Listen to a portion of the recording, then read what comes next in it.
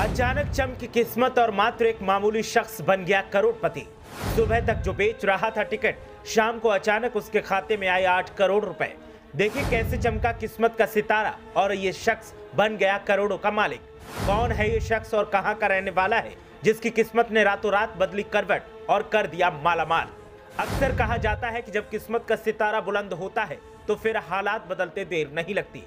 और ऐसा ही एक शख्स के साथ हुआ, जो कल तक टिकट बेच रहा था और आज आठ करोड़ का मालिक बन गया। अचानक किस्मत ने ऐसा मोड़ लिया कि रात को कल की दिहाड़ी का प्लान बनाकर सोया शख्स करोड़ों का मालिक बन गया और खाते में आठ करोड़ रुपए आ गए। ये कहानी किसी फ़िल्म का क्लाइमेक्स लगती है, लेकिन ये काल्पनिक नहीं, हकीकत है। और ऐसी हकीकत है जिसने ज़िंदगी में खुशियों की बाहर ला दी। बताएँगे कैसे किस्मत का सितारा एक रात में चमका और चांदी ही चांदी हो गई। बस आप हमारे साथ आखिर तक बने रहिए, क्योंकि इस कहानी का हर पहलू आपको कुर्सी से उछलने के लिए मजबूर कर देगा और सोचने पर मजबूर कर देगा कि क्या ऐसा भी हो सकता है। दरअसल हाल ही में अमेरिका में बेहद हैरान कर देने वाला मामला सामने आया है, जिसमें लॉटरी बेचने वाला शख्स ही मालामाल हो गया है।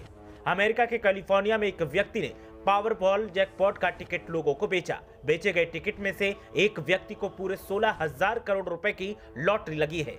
अभी तक जिस व्यक्ति को इतनी बड़ी लॉटरी लगी है, वो सामने नहीं आया। लेकिन इस पावरबॉल जैकपॉट लॉटरी टिकट बेचने वाले व्यक्ति की चांदी हो गई। उसे पूरे आठ करोड़ रुपए का बोनस मिला है। अमेरिका के कैलिफ़ोर्निया राज्य के अल्टाडेना के रहने वाले जोसेफ छाएट पिछले कई सालों से लॉटरी टिकट बेचने का काम कर रहे हैं। वो साल 1980 में सीरिया से अमेरिका आए थे। वो पिछले कई सालों से लॉटरी बेचने का काम कर रहे थे। अमेरिकी मीडिया के मुताबिक जोसेफ छायड ने बताया कि उन्हें लॉटरी का टिकट बेचना बहुत अच्छा लगता है। ऐसे में उन्होंने पावरबॉल जैकपॉट की लॉटरी हाल ही में बेची थी। ये टिकट स्थानीय लोगों ने खरीदी थी।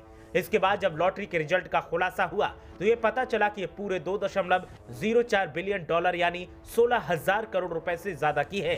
खास बात यह है कि अब तक कोई भी व्यक्ति इतनी बड़ी लॉटरी को क्लेम करने सामने नहीं आया है। मगर जोसेफ को यह उम्मीद है कि ये लॉटरी किसी स्थानीय शख्स को ही लगी है। इतनी बड़ी लॉटरी टिकट बेचने वाले जोसेफ की भी किस्मत इस लॉटरी ने खोल दी है। वो एक झटके में पूरे आठ करोड़ के मालिक हो गए हैं। जोसेफ ने बताया कि इतना बड़ा बोनस प्राप्त करके वो बेहद खुश है। इसके साथ ही उन्होंने कहा कि उनका बेटा जल्द ही पिता बनने वाला है। ऐसे में वो बच्चे के जन्म के बाद एक बहुत बड़ी पार्टी रखेंगे। जोसेफ के कुल दस नाती पोते हैं। वो बहुत मेहनती इंसान हैं और हफ़्ते के सात दिन काम करते हैं। आपको बता दें कि पावरबॉल जैकपॉट की लॉटरी अब तक की सबसे बड़ी लॉटरी मानी जा रही है। इससे पहले साल 2016 में पावरबॉल जैकपॉट ने तेरह हज़ार करोड़ रुपए की लॉटरी का ऐलान किया था। इस लॉटरी के विजेता को पैसे देने के दो ऑप्शन मिलेंगे। वो चाहे तो एक बार में ही सारे पैसे ले सकता है। ऐसी स्थिति में विजेता को केवल आठ हज़ार करोड़ रुपए मिलेंगे। वहीं 29 साल की बड़ी अवधि में किस्तों के ज़रिए ये राशि लेने पर विजेता को पूरे 16,600 करोड़ रुपए मिलेंगे। अब तक क्लेम तो सामने नहीं आया है लेकिन जोसेफ अपनी अचानक चमकी किस्मत के सहारे करोड़पति बन गए हैं।